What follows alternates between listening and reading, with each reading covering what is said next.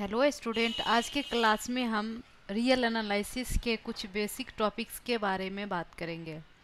पहला हमारा आता है पार्टीशंस पार्टीशन का ही दूसरा नाम होता है डिसेक्शन और इसी को हम कहते हैं net of a close interval तो यहाँ पर हमारा आता है let I is equal to close interval a comma b be a finite close interval मतलब अगर हमारे पास आई इज़ इक्वल टू ये close interval a comma b दिया हुआ है, और हम क्या कर रहे हैं ए बी को कई सब इंटरवल में डिवाइड कर रहे हैं। तो हमने लिखा a is equal to x naught less than x one less than x two less than x three dot dot dot x n is equal to b then the finite order set P is equal to तो जो यहाँ पर हमने सब interval किया है x naught x one x two तो ये सारे हमारे पी कहलाते हैं। इसी को हम कहते हैं partition of I the n close interval I one, अब क्या है? हर दो पॉइंट्स के बीच का अगर हमें लेंथ चाहिए तो जैसे हमें एक्स नोट और एक्स वन तो इसको हम आई वन कहेंगे। मतलब आई वन इंटरवल के अंदर जो पॉइंट्स लेंगे, वो एक्स नोट एक्स वन आएगा। आई टू के अंदर जो हम लेंगे, वो हमारा एक्स वन एक्स टू आएगा। वैसे ही आई आर का अगर हम बात करते हैं तो x r minus one comma x r तो वैसे आई एन अगर हम बात करते हैं तो x n minus one comma x n determine by P और इसे हमें डिटरमाइन किया जाता है पी के द्वारा। आर नोन एज उसी को हम सेगमेंट ऑफ़ द पार्टीशंस कहते हैं। मतलब सेगमेंट ऑफ़ पार्टीशंस बात करें तो यही हमारा आ गया। जैसे आई वन का बात करें तो एक्स नोट, एक्स वन, या फिर आई आर का बात करें तो x r minus one comma x r. ये सारे जो हमारे होते हैं, इनको हम segment of partition of a P कहते हैं। अब हमारा क्या होता है? हर दो पॉइंट पॉइंट के बीच का लेंथ निकालना होता है। तो जो हम लेंथ निकालते हैं तो हमने यहाँ लिखा the length of the r sub interval मतलब जैसे ये आई आर हमने लिखा है x r minus one comma x r तो हमने जब जब हमें किसी लेंथ निकालना हो दो पॉइंट के बीच का तो हम कैसे निकालते हैं? डेस्टिनेशन माइनस सोर्स मतलब यहाँ पे डेस्टिनेशन का काम एक्स आर कर रहा है और सोर्स का काम जहाँ से चलना स्टार्ट किया हुआ है एक्स आर माइनस वन कर रहा है। तो यहाँ पर हमने लिखा del r is equal to x r minus x r minus one जो यहाँ पे डेलर है, ये हमारा लेंथ ऑफ़ आर्थ सब इंटरवल को डिनोट करता है। तो इस तरह से हमने लिखा del r is equal to x r minus x r minus one अब हमें नोट करके एक चीज़ मैं आपको बता रही हूँ कि del r is equal to होता है del one plus del two plus dot dot dot मतलब अगर हमें डेल आर का सम करना हो तो आर का वैल्यू एक बार वन पुट कर देंगे, एक बार टू पुट कर देंगे, एक बार थ्री पुट कर देंगे डॉट डॉट डॉट एन तक जाएँगे। तो उसी के सम को, sum of del r is equal to this होता है। तो अगर हम डेल वन का बात करते हैं तो डेल वन हमारा x one minus x naught आ जाता है। वैसे डेल टू का बात करते हैं तो x two minus x one आ जाता है। सेम ऐसे डेल एन का बात करेंगे तो x n minus x naught आ जाएगा।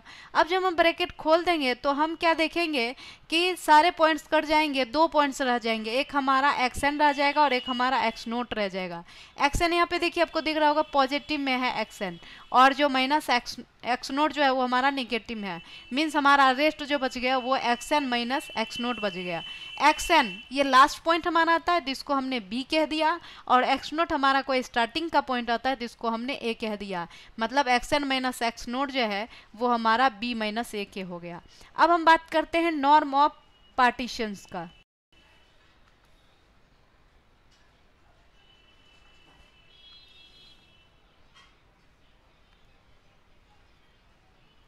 अब नॉर्म ऑफ़ पार्टीशंस क्या होता है? मैग्नीट्यूड जो होता है, वह वही हमारा नॉर्म होता है। मैग्नीट्यूड का मतलब क्या होता है? मैग्नीट्यूड का मतलब होता है मैक्सिमम वैल्यू सेम वैसे ही नॉर्म भी वही होता है। तो हम किसका मैक्सिमम वैल्यू देखते हैं? तो यहाँ पर हमने लिखा है the length of the interval x r minus one comma x r of the partition P will be called its norm and denoted by norm जब हम मैग्नीट्यूड का बात करते हैं तो मैग्नीट्यूड के केस में हम एक ही मोड से हमारा काम चल जाता है। एक हमें मोड की ज़रूरत पड़ती है। लेकिन जब हमें बात करते हैं नॉर्म का हमें दो मोड लगाना होता है। बस मैग्नीट्यूड और इसमें यही फ़र्क होता है नोटेशन का। अदरवाइज़ वैल्यू उसमें भी हम मैक्सिमम वैल्यू लेते हैं, यहाँ भी हम मैक्सिमम वैल्यू लेते हैं। अब हम बात करते हैं अपर एंड लोअर रायमन और डार्बॉक्स सम अब इसका मतलब क्या होता है?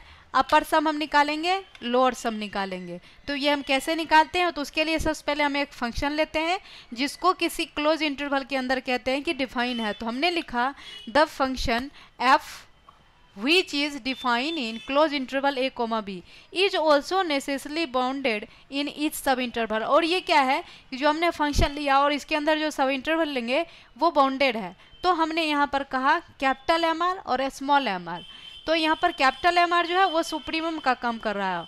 और जो हमारा स्मॉल एम है, वो हमारा इन्फीमम का काम कर रहा है। तो वही हमने लिखा, capital M r small m r are the supremum and infimum of f in I r और आई आर का मतलब हम कह सकते हैं x r minus one comma x r ऊपर मैंने लिख रखा है। Then two sums are follows तो हमें दो सम इस मिलता है।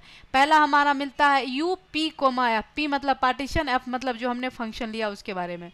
तो यू पी कोमा एफ़ जो हमारा आ जाएगा। अब हम क्या करेंगे? जो हमने सुप्रीमम लिया है सुप्रीमम और जो हमने ऊपर लेंथ निकाला था डेल जो हमारा था, वो हमारा लेंथ था।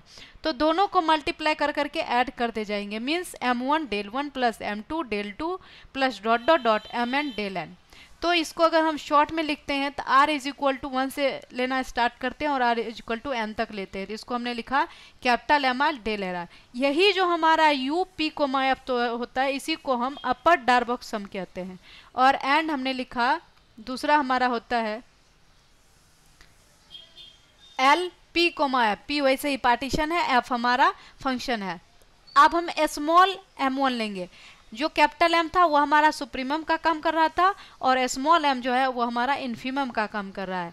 तो M one del one plus M two del two plus dot dot dot M n del n और इसी को हम शॉर्ट में लिखेंगे, जैसे यहाँ पर हमने शॉर्ट में लिखा तो इसको भी हमने शॉर्ट में लिखा। इसी को हम लोअर डार्बॉक्स सम कहते हैं। तो वही हमने नीचे लिख दिया कि U P comma f is call upper Darboux sum and L P comma F is called lower Darbox sum a F corresponding to the partition P. अब हमने नोट करके एक बात लिखी है क्या? कि for every partition P on close interval a comma b we have तो हम एक रिलेशन जानते हैं क्या? कि जो लोअर सम हम निकालते हैं, वो लेस देन इक्वल टू होता है अपर सम के।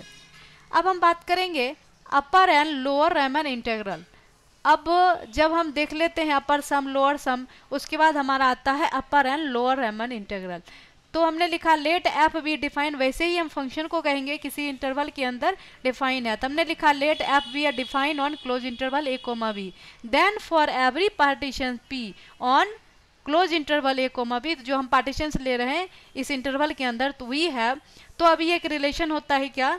कि एम एम मतलब हो गया हमारा इन्फीमम अब b minus a b minus a अभी हमने ऊपर में डेल आर का हमने जो सम किया था, उसमें हमने बी माइनस ए निकाला। तो m b minus a less than equal to L P comma f less than equal to U P comma f less than equal to M b comma a ये हमारा एक order में ये relation होता है। मतलब ये लेस देन दिस के और दिस लेस देन दिस के और दिस लेस देन। अब यहाँ पर एम हमारा इन्फीमम है और कैपिटल एम हमारा सुप्रीमम है एफ़ का। अब लास्ट हमारा आता है अपर एंड लोअर इंटेग्रल अब अपर इंटेग्रल क्या होता है तो उसके बारे में देखेंगे। The infimum of the set of the upper sum जो हमने अपर सम निकाला, उसके सेट का इनफीमम वैल्यू हम लेते हैं। Is called the upper integral of f over close interval this और इसको डिनोट किया जाता है integration of a to b अब हम क्या करते हैं? अपर के केस में अपर लिमिट पे बार लगा देते हैं। बी का bar f x d x तो इसको ये जब भी इस टाइप का हमें कहीं पे दिखेगा तो हम समझ जाएँगे कि ये अपर इंटेग्रल का बात किया जा रहा है यहाँ पे। तो हमने लिखा, अब इसका वैल्यू क्या होता है? तो यहाँ पे हमने कह दिया the infimum of the set of upper sum मतलब अपर सम का इन्फीमम तो हमने यहाँ पे लिखा is equal to infimum of U P comma f हाँ और पी जो है इज़ अ पार्टीशन ऑफ़ इस इंटरवल के अंदर इसका पार्टीशन लेते हैं। फिर हम बात करते हैं lower integral the supremum of the set of the lower sum L P comma f is called the lower integral of f over a comma b अब हम क्या करते हैं, जैसे हमने अपर में क्या किया अपर लिमिट पे बार लगाया था तो अब हम क्या करेंगे, जब लोअर इंटेग्रल का बात आएगा तो लोअर लिमिट पे हम बार लगेंगे तो लोअर लिमिट का काम यहाँ पर ए कर रहा है तो हमने ए पे बार लगा दिया। डिफरेंट दिखाने के लिए नोटेशन हम अलग यूज़ कर रहे हैं।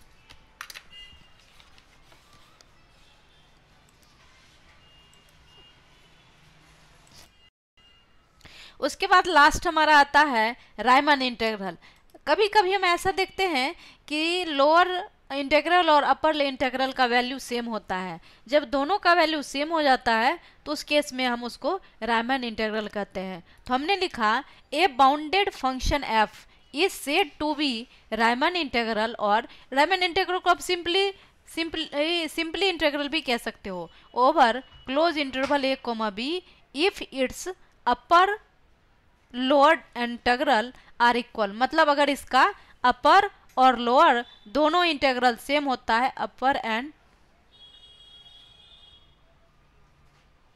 lower integral are equal तो हमने लिखा ए टू बी ये हमने लिखा है अपर इंटेग्रल के लिए, ये हमारा लोअर इंटेग्रल के लिए, और दिस को हम दिस से डिनोट करते हैं। तो हमने लिखा जो रेमन इंटेग्रल हुआ, वो A to B F X D X अब जब हम इसका रेमन का क्वेश्चन करेंगे तो उसमें ये सारे कंसेप्ट की ज़रूरत होगी।